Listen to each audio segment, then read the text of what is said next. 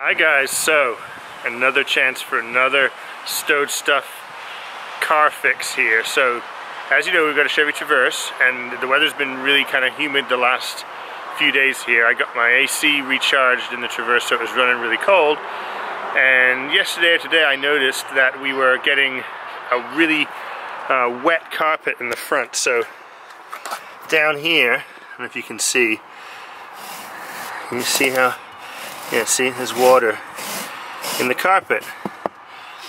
And I had a look around and I think what's going on is that the the blower motor for the air conditioning lives under here. And I think it's filling up with water in this enclosure, which probably means there's a drain that's plugged somewhere. I'm not sure if it's on this side or the other side. I'll have a look. Also notice that when I go around the corner to the left, I get kind of this weird sound, which I wasn't sure, it sounded like something rubbing in the wheel well. But now that I think that's the, the motor that's the problem, I think it's when I go around a corner, the water sloshes up on that side and hits the motor, which can't be a good thing. So I'm gonna do some digging around, see if I can figure it out, and I'll let you guys know how we fix it.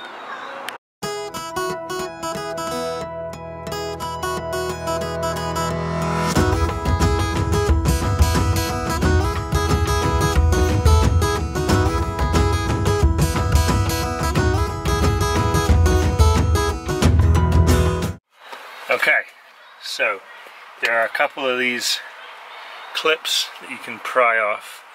One on this side of this thing and one over here that I've gotten off most of the way. Let's pull that one out.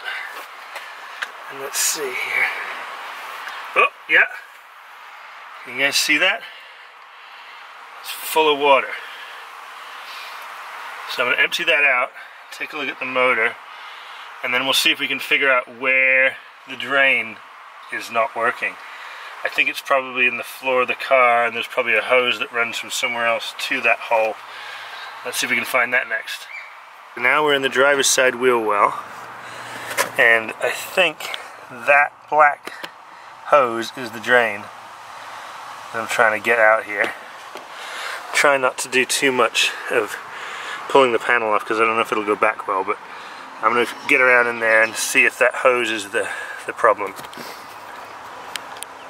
After a little bit of rooting around down there, we realized that that is the hose that looks like it drains. I, uh, I popped the hose off and this came off the floor. So this is a, a valve that sits in a hole in the floor of the car. It's sealed up around the outside and it has this kind of, I don't know what you call this, flapper, duckbill kind of valve that is to stop water from coming the other way, which I don't know how effective that is, but um, but it, as soon as I took this off, this hose drained like crazy and I was frantically searching for something to collect the water in.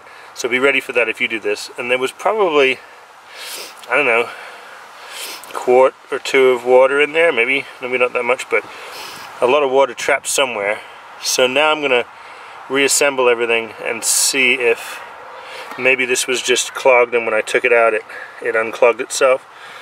Um, I'm going to reassemble it. So you can't really see, but there's a hole that goes right through the floor of the car down there, and this hose attaches to this, and then that goes into the into the floor of the car. So we're going to reassemble that, put this panel back, and then we'll try running the motor, see if uh, if everything sounds good, uh, and see if it collects water again. So the panel's back in place. Now I would not recommend trying to do this with the engine running because you do have to get really close to the gas and this panel over here on the right is held in place by a panel that sits above here that you have to pull down and you will end up hitting the gas by accident. So do it with the engine off, get sweaty, whatever. Uh, that's all back in place now. So let's now go and start the car and see if it sounds okay. Everything's running again. Uh, I'm not really sure whether that drain is actually the drain for that motor or if it's the drain from the sunroof somewhere, but it was definitely filled with water. Maybe it was backing up through there somehow, maybe it drains through there, and I guess you get con condensation whenever you run the AC anyway, so it has to go somewhere, has to collect somewhere, has to flow somewhere. Uh, so, if you have, let me turn this on. If you have a wet passenger side in a Chevy Traverse or a GMC Acadia or any of these GM Lambda vehicles, have a check and see if you can pop off that panel that I popped off. I'll show you again in a second outside and uh, see if it has water sitting in there, at least empty that out. Then you see if you can drain this hose over here, make sure the valve in the bottom isn't clogged. Uh, that may solve the problem. I'm assuming it'll solve my problem. We will see in the next few days if it starts to fill up again. So that's the amount of water. I mean, it's a decent amount flowing down the driveway there. So, decent amount of water trapped in that hose for some reason, and must have been the valve because as soon as I got the valve off, it flowed right freely. And uh, over here, this is the the panel that I took off. I'm just trying to dry out the, the moisture. Uh, it must be draining through the motor because it's got uh, dust in there. That's the panel. It doesn't appear to have a way to drain out of that thing once it's in there, so I guess they assume it just sits and evaporates. Uh, anyway, so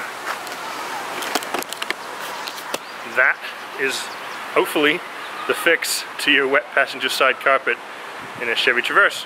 One other interesting thing I found digging around down there is that the panel that has that tub in it that collects water appears to be, I guess through a typical piece of GM engineering, right next to a fuse box. Um, if you look down here, this is, this panel here has the fuse diagram on it. I think there's a fuse box up in there. But anyway, uh, let's put a water collection container next to the fuses.